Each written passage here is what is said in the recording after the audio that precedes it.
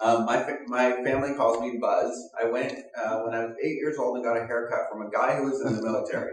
And I swear, I told this guy cut it long because everybody knew his tendency.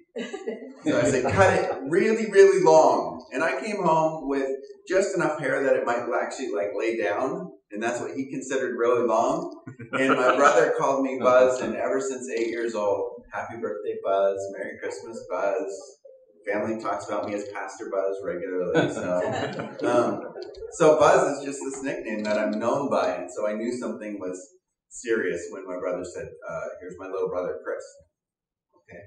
Um, it's weird. Nicknames stick sometimes, and they stick for the weirdest reasons, and I don't know quite they do, um, why they do. Thankfully, I'm glad I like Buzz. A lot of people get stuck with nicknames that they don't, and frankly, I needed to laugh this week, um, and so I wanted to share with you three of my favorite unfortunate nicknames from the sports world. I love sports, so I'm going to share with you. Um, all right, number one, we're going to put his picture up here. The Flying Tomato, Shaun White. yes, this uh, he's a, a kid who is a really, really good snowboarder, and he was maybe 20 something years old. He was in the Olympics, the very first U.S. snowboarding gold medal. Um, and, and his name was Shaun White. He had this big flowing red hair, and it flew behind him.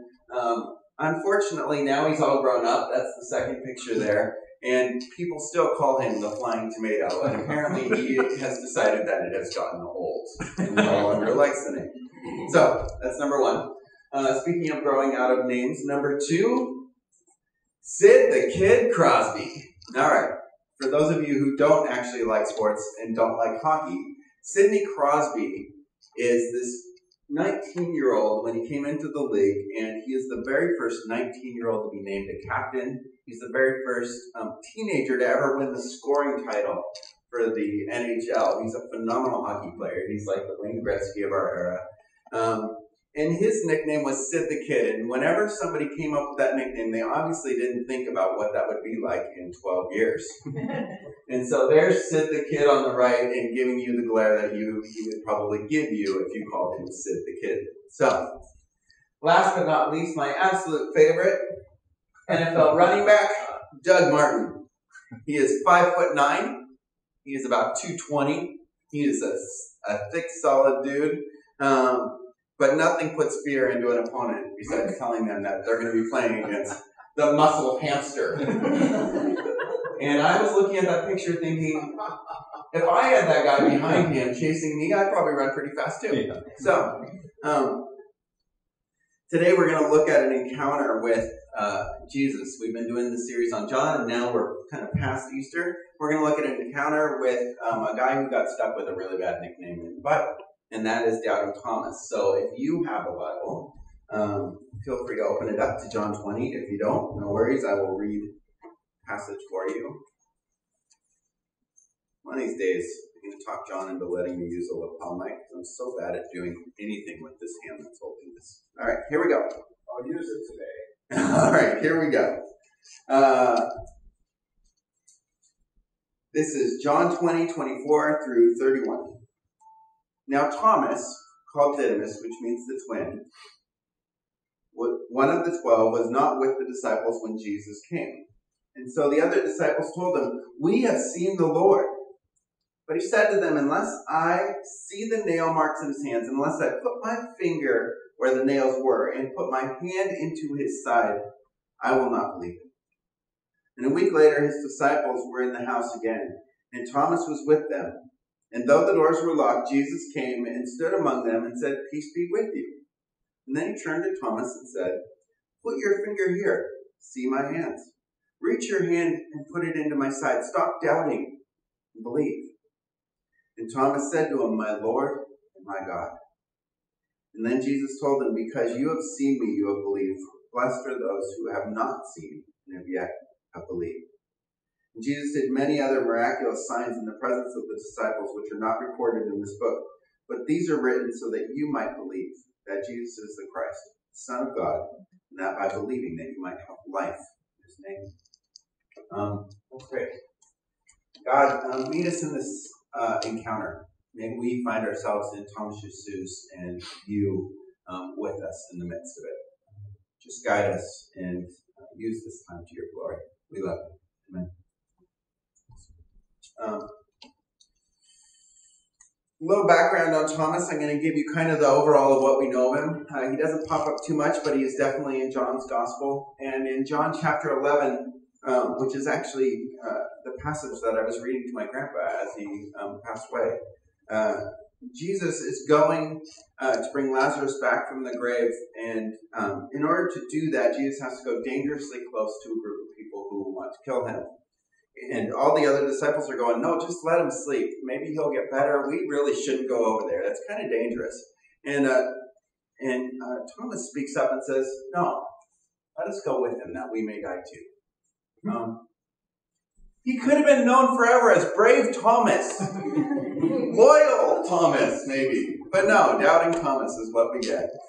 And then uh, John 14, Jesus uh, at the Last Supper, he's explaining to his disciples that he's going to be leaving them the next day, but that he's going to a place and he's going to prepare a place for them.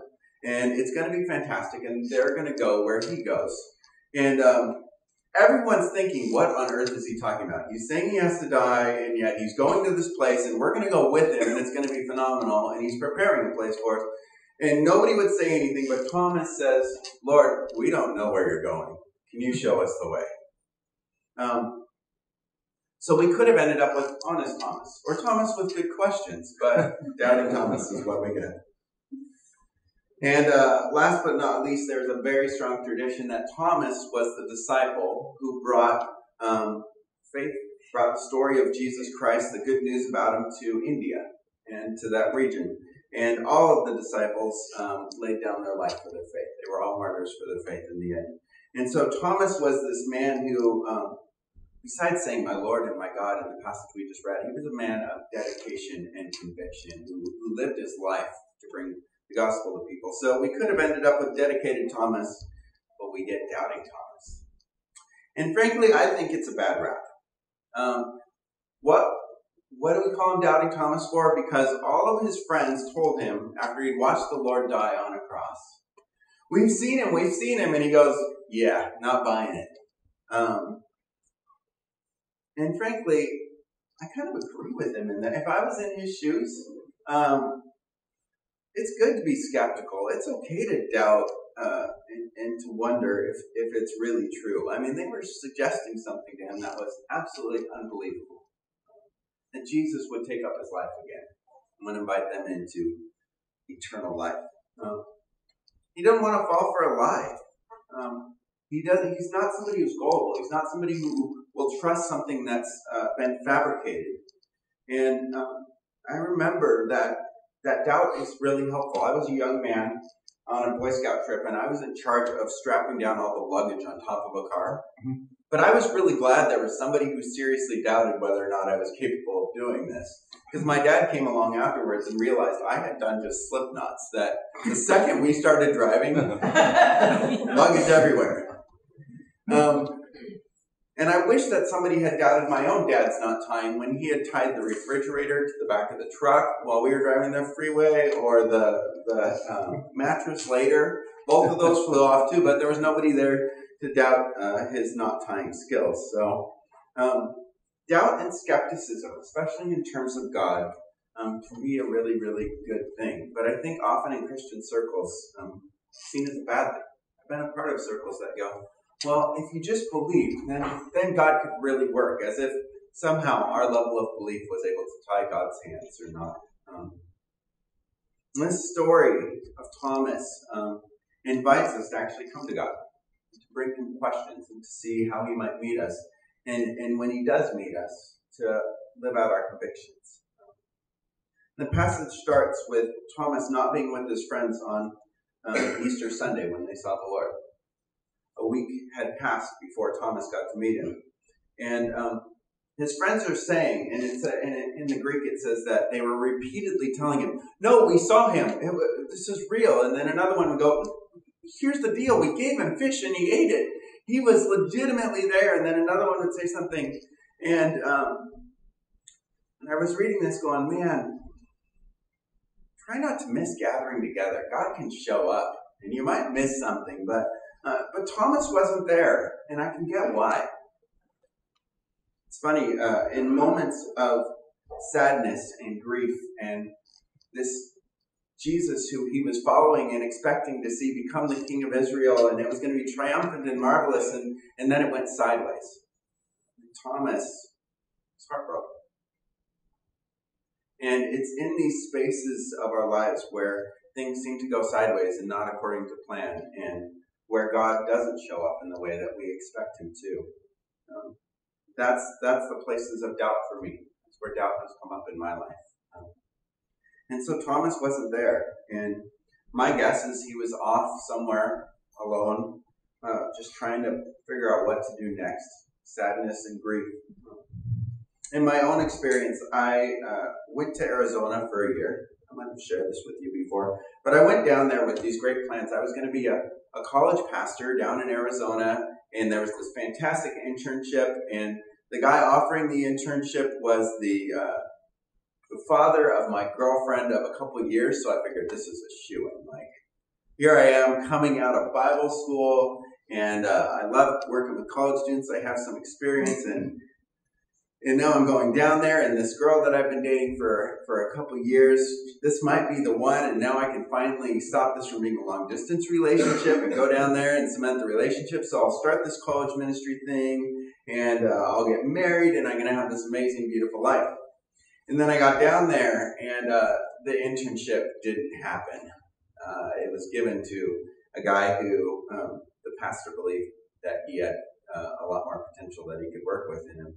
And uh, the girl and I broke up uh, after I got down there. Apparently, long distance was how we did relationships, Close distance was not. And um, and I found myself working with computers, doing tech support for UPS um, in a foreign place, apart from uh, where my family lived for the first time in my life. And I was in the desert, and I didn't really have this ministry outlet that I was planning on. And I thought, wow, either God bailed on me and he doesn't really exist, or if he does exist, he's playing a very, very sick, cruel joke and has a bad sense of humor. And um, things had just gone so unaccording to my plan that I was ready to say, I can't believe it. There's no way I can believe this. Um, that was my most dramatic experience of doubt um, since I've, I've come to Christ, which is 20 some odd years now. Um, but doubt can come in all sorts of shapes and sizes.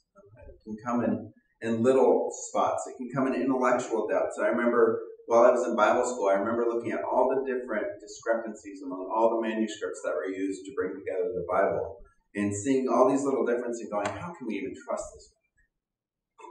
And then um, I did a different study on did any of those discrepancies actually change what the text said or meant? And found out that it did very little. And through my studies, I actually came to truly believe that the Bible is, is an incredibly uh, reliable document. Emotional doubt. Why isn't making being a Christian making me happier? I, I've been sold this idea that somehow if I come to Christ, then my life will get better. And now it's going uh, not according to plan, and, and, it's getting harder because of my faith. spiritual doubt. I've talked to so many people and felt it myself when when you're praying in a really desperate, dark time, and you feel like your prayers just hit the roof and they bounce back down, you go, man, where's God in this? Doubt is never fun or happy. Um, but I believe it's good, and I believe God has a purpose in it. And it can push us from where we are now to somewhere new. Um, and that's kind of at the heart of it. It's, re- it's a healthy thing, um, especially depending on how we respond to it. Um, I know for me, when I encounter doubts, uh, I I'm a pastor. I'm not supposed to have doubts, right? And so um, when I encounter doubt, one of the the tests for me is is I want to go um, isolate myself and not share those with anybody. Um, and I want to disengage from it and I want to avoid them and maybe focus on something else that, that is more comfortable. And in the process, I end up like Thomas, kind of wandering around alone and not with um, the rest of the people of faith around me. Um, but if we will engage um, our doubts with God and with others, I believe God can use them to, to grow us. Um, that logo you guys just talked about, the boat cruising through some crazy waves. Um, and that that is a picture of going somewhere. That's a picture of an adventure. And, and this church is the church of the adventurous spirit. And um, think doubt is one of those times where we get tested. Do we have the enough adventurous spirit to charge through some things in order to see what lies beyond and see what God wants to give us? Um, the Christian faith is not built on blind faith. Jesus never encourages or asks for us to have blind faith. Um, in fact, quite the opposite is necessary if we're ever going to grow. Blind faith means that we just sort of get blown around by the current. And, and if you've ever gone whitewater rafting, anybody ever done that? It's a good time, right? But if you just sat in the boat and everybody had their oars and they just kind of held them up in the air as victory torches while you go down this river, it could get nasty. Um, there's some resistance that happens when you're like trying to dodge the rocks so that you can go through the little spot where the, the rapids take you and um, there's resistance in it but in the process of doing that you get stronger and you have an adventure and that's kind of how doubt is and when it comes to um, what we believe we face resistance but if we will push through it um, we'll end up in a stronger place Jesus doesn't challenge Thomas not to have questions or to have doubts. In fact, um, he offers to meet Thomas's doubts directly. Um, but he does challenge him one thing belief. And I think there's a significant difference, especially when you read the Bible you come across this term of believing. And, and believing in the Bible is not about uh, intellectual assent to something and going, well, I guess 2 plus 2 is 4, so I, I agree with that. Um, believing in the Bible is saying, I've decided that this is true. I'm going to put my weight down on it. Now I'm going to live it out. Um, and the opposite of faith is unbelief.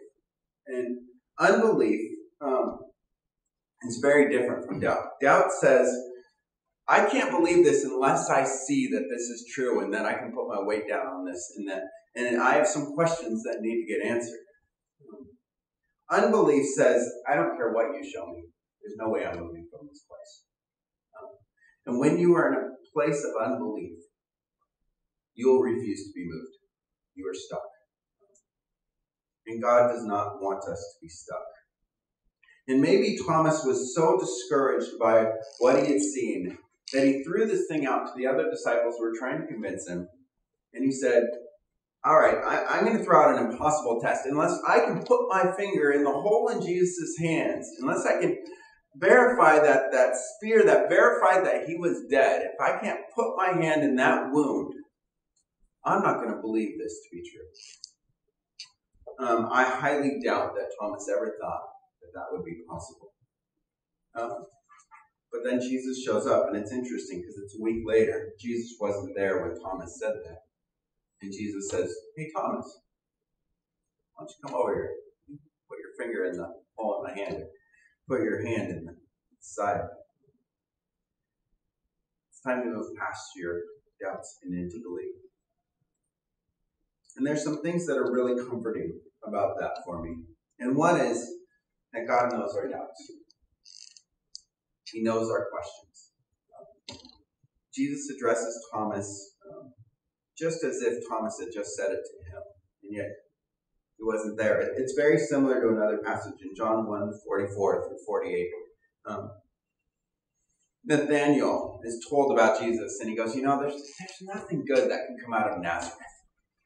Why would I believe in any guy coming out of Nazareth? Um, and then he goes and meets Jesus, and Jesus says, Oh, here's an Israelite in whom there is no deceit whatsoever. And Nathaniel says, Well, Jesus, how do you know me? I haven't met you before. This is our first interaction. And he goes, Oh, I saw you while you were still under the fig tree. Before Philip called you. And Nathaniel says, Rabbi, you're the Son of God. You're the King of Israel. He goes from, I doubt this can be true I am fully convinced that you're the one. That's exactly what Thomas does. And it's a beautiful thing that the Lord does for Thomas in telling him the exact words that he had said, because it reminds him that he's always been with him. And it's crazy when we doubt and when we are struggling with doubt. um, we often think that God is not there. And what this passage tells me is that our doubts don't change God at all. It doesn't change his love for us. It doesn't change his presence with us. And whether or not we believe that God is either with us or for us, It doesn't change his stance towards us. And that is a beautiful, beautiful gift. Our lack of faith does not change God's faithfulness. Two, second thing, um, it's in the midst of our questions and our skepticism, if we'll bring them to God, that God can make an impression on us. It's a pretty incredible transition to go from there's no way I'm going to believe this to if this happens, you're my Lord and my God. You're in charge of my life, and you are God. That is a huge declaration of who Jesus is. And it's interesting, he didn't actually get the answer he asked for. He never put his finger in the hole in his hands. He never put his hand in the side. At least that's how I read it. Jesus says, You can feel free to do this. And Thomas falls down on his knees and declares, This is God. Um, oftentimes, the answer that we ask for, God doesn't give us. It's not quite that easy. But if we will look, and if we will look sincerely, and if we'll be open to what we will see, I believe that God can show up in a really beautiful, powerful way. Um, it brings to mind the book Case for Christ. Lee Strobel wrote it. He was a journalist who was just going to do a sincere study of the Gospels to prove that Christianity was a farce. Um, and in the process, he got answers that he didn't expect, but it wasn't answers that met his unbelief. It was answers that he had doubts about. And so, um, in the process, he catalogs what it was like for him to, to come to evidence of Christ and to believe that Christianity is true. I was telling you about my time in Arizona, time when I didn't have a ministry outlet, um, when I had broken up with my girlfriend, and when life was not going well, and that was um, those two things were kind of where I based my relationship with God. God loves me because my life is going well. And um, God must like me because, well, I do a lot of stuff for him. Um, that was the that was the place I was at. And without either of those things, I discovered that God loves me um, even when my life is not going well, and He is with me. And I discovered that God uh, is not waiting for me to do a bunch of stuff for Him, for Him to like me. And so I walked away from Arizona with a deep down uh, belief that God loves me no matter what. Whether I go sit on a beach and count rocks or whether I'm up here preaching, God loves me just the same. It's a significant step in my faith. Um, another time when I when I had doubts, um, I was working uh, when I first became a Christian. I was working um, at McDonald's, and uh, I was flipping burgers, and uh, and I had very little money, just enough to make rent. And I discovered as I was reading the Bible this thing about giving at church, and um, specifically about they call it a tithe. It was, and so I, I decided to risk this thing, and I, I, was skeptical. I was doubtful. I was going, okay, how, I don't see how this is going to make sense, but I'm to, I'll give it a shot. So, um, so I was giving to the church, and then one particular month, unexpected bill shows up, and I ended up uh, short for rent, and I had to make a decision. Yeah, give or not give. And I, I decided to give, um, see what God can do. It was sort of a, a little test, and um, and then I was talking to the pastor, and I'm going, you know, I'm reading the Bible a lot. I'm trying to pray a lot, but I just don't know how to grow next. And he goes, well, why don't you go over to this um, woman in our church's house and mow her lawn? You probably need some way to serve somebody. And so um, I did that. I went over and I mowed her lawn. I had a great time doing that. And um, and as I was leaving, she goes, "Man, I need to pay you." And I said, "No, you don't. Treasures in heaven. I'll take those instead." And um, she goes, "No, I need to pay you." And I go, "All right, just pay me whatever you think is fair." And she wrote me a check for the exact amount that I needed for my rent. And it was in that moment that I said, okay, I guess I can trust God my finances. so this will all work out. And um, that became a pivotal moment in my faith where I could go, okay, I'm, I'm just going to trust God with my life. It's, it's not super complicated for me. Um, but it took going through these moments of doubt to get there. Um, my grandfather's passing. Um, I was with my brother. He's a nurse. Um, doesn't believe me, uh, and he thinks that when you die, you're over, light extinguished. Um, and he's asking me, really honestly, like, well, what do you believe happens after somebody dies? And um, and I started telling him, and it was so weird to have this conversation um, with my brother for one, and with somebody who doesn't have a faith background at all. Because I'm realizing that the stuff that I kind of take for granted, and if I were to talk with one of you all about it, Dave Doherty about it, he's like, oh yeah, we're going to be in heaven, it's going to be great. I'm telling my brother this, I'm like, well, here's what I think happens, and uh, we die, and then there's Judgment Day, and then uh, by the grace of God, we're invited to be with God forever in eternity, and, and to live in a world that's perfect. And um, and he's looking at me like, what on earth? And I realize this sounds absolutely crazy to him. like, he must be sitting there going, man, he's making stuff up right now. like, I don't know what he's talking about. And then um, I realized in that moment, I said, you know, I know this sounds really weird, but I've seen enough of, of God in people's lives, and I and I've seen enough that God can be trusted in terms of of who this Jesus is that I guess I trust him with this other stuff that I that nobody knows. Nobody knows what happens after we die, but Jesus says this, and he seems to tell the truth most all the time, and so I believe it. Um, it's a level of trust that happens as we move through doubt. In a few weeks, the wonderful McCrary's who um, have, are here at the church often, and uh, they gave me a Christmas present. They're going to invite me to jump out of an airplane with them. Christina's not excited. I figure even if it goes wrong, I'm walking to those pearly gates with friends. so, you guys. so that'll be all good. Um, no, but they're inviting me to do this, and, and I, I kind of I, I, thought about it, and I've gone, well, they do this all the time, and, and I'm attached to somebody. I don't even have to remember to pull the cord in case I just black out and forget. Somebody else doing that for me. So, um, so it kind of in theory, I trust the whole idea of a parachute. That's where I'm at. Um, but I guarantee you, after that jump happens, I will have a different trust in parachutes. It'll be a trust that's based on having experienced something and knowing that with my full weight pulling down on it, it still holds me up in the air. Um, Thomas was in a place of unbelief, but when he saw Jesus, um, he was so convinced.